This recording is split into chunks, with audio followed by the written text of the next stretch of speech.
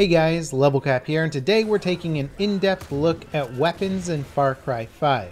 A big thanks to Ubisoft for sponsoring this video. If you want to check out the game, click the link in the video description. Like previous entries in the franchise, Far Cry 5 is an open world FPS where you fight extremist bad guys and their nutty henchmen. The weapon arsenal available to you has been expanded upon from past games in the series with even more options to choose from, including melee weapons. Each class of weapons has its own strengths and weaknesses, but all of them include viable options for getting through any mission or situation in the game. Now in the game's opening moments, you start off with a pistol. In general, pistols serve as a good close quarter weapon but are still effective at even medium ranges if needed. However, against armor targets, animals, and drugged up cultists, they're not particularly effective. Given how limited your ammo reserves are at the start of the game, investing in a pistol with good firepower and attachments is a pretty smart move and can help you get through some of the early game missions. Fortunately though, the game quickly throws additional weapons your way. By the end of the opening mission, you'll have both a pistol and an assault rifle. As you rank up the resistance meter in each area of the game, new, more powerful weapons will be unlocked. Stores throughout the map will have the full stock of weapons and attachments to choose from. Enemies, of course, will also drop their weapons that they're carrying when they're killed, and you can go over and pick those up. Now, the next class of weapons, shotguns, are great for taking out armored targets and animals up close. Most of them are pump action and will take a while to reload. They work best as backup weapons for situations where you've run out of ammo with your more versatile weapons like the assault rifles or machine guns. Investing in perks that give you additional weapon slots early on is a great way to avoid situations where you're out of firepower. SMGs, on the other hand, don't quite have that one-shot firepower of assault rifles, but they still have some pretty good advantages. They're more accurate from the hip, and they have very fast fire rates. Against unarmored targets, SMGs are very effective, making them great as stealth weapons in close quarter situations. They serve as another good backup weapon to a rifle or machine gun. Now, assault rifles are probably going to be the weapon class most players sink a lot of resources into. They offer a great range of options and plenty of damage to take out even armored targets at range. They still lack the single shot damage of sniper rifles or machine guns, but most of the enemies in the game drop assault rifles or ammo for them. This makes ARs ideal for situations where you're going up against several enemies, as you'll almost always be able to replenish your ammo from your downed foes.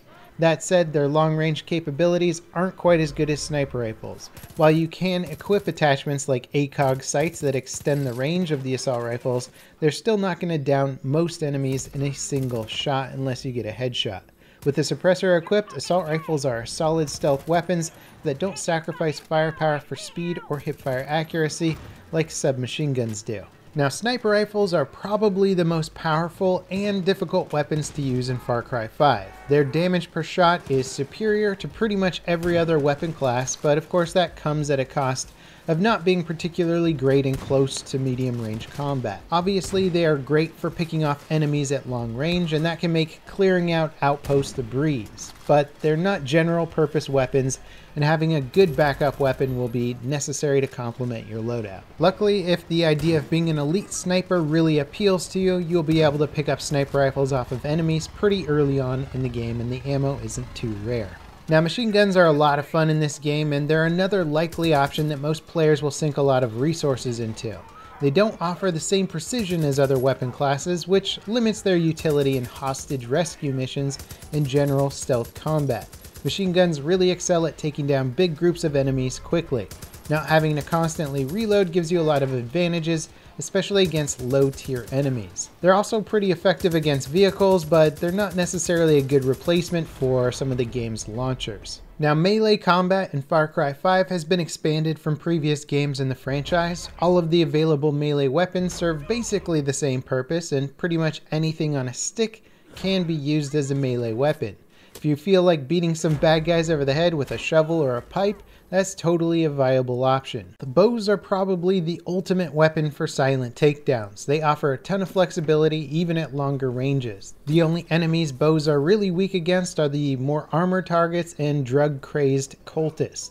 Bows will let you sit at the edge of an objective area and pick off enemies without setting outposts on high alert. Avoiding detection is really the key to a good stealth run and bows have pretty much every advantage you'd need. You can also retrieve your arrows from downed enemies which makes keeping your ammo stocked up relatively easy. Now throwables like grenades and molotovs are better as a distraction options than for taking out tons of enemies. That said, setting out a remote charge and waiting for enemies to walk past is a great way to open up an area for attack. Despite how quickly enemies tend to move around, using throwables can still be fun or it can always serve as a decent distraction regardless. If you don't have a launcher to take out a vehicle, using multiple throwables is a decent alternative. Throwing knives are also available to you as a stealthier option. They work just like throwables but have their own slot in your inventory. You start off with three ammo slots for them but can upgrade that via the perk system. They work well for taking out unarmored targets in close range and can serve as a good backup to the melee combat system or having a suppressed weapon. And then of course there's weapon customization, which isn't limited to just attachments. There's a ton of skin options to give your chosen weapons a little extra flair. Regardless of what weapons you choose, every class is generally viable in most situations. If you find a weapon you really like, it's pretty easy to keep it throughout the campaign thanks to perks that upgrade each weapon's class damage and the wealth of weapon attachments that improve their performance. That being said, there are obviously some weapons that outperform others. Assault rifles are the most versatile weapons in the game, but having other weapons like shotguns or sniper rifles as backup is still something I would recommend. ARs often don't have the sheer stopping power of a shotgun for point blank range or the cool factor of those long range headshots that sniper rifles offer. Now, when it comes to vehicle combat, I gotta say it is an absolute blast bombing around the forest in a Jeep or other kinds of vehicles, especially when it's being driven by a co-op teammate or AI companion.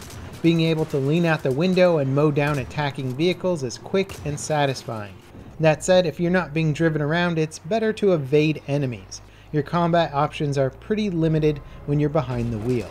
Now, all ground vehicles do allow you to shoot out of them from both the passenger and driver's seat. Planes and helicopters will only let you shoot out of them as the passenger. And when you're driving, you only have access to a pistol. Then again, you can also run over your enemies, and if you're in a bigger vehicle, like a big rig, it's easier to push other vehicles off the road or ram them to submission. Now there are some pretty unique vehicles out there that break some of these rules. For example, the Widowmaker semi-truck and the Aerial Force helicopter have mounted weapons. You can fire these weapons from the driver's seat. They'll cause massive amounts of destruction and it's a pretty considerable upgrade from leaning out the passenger side window.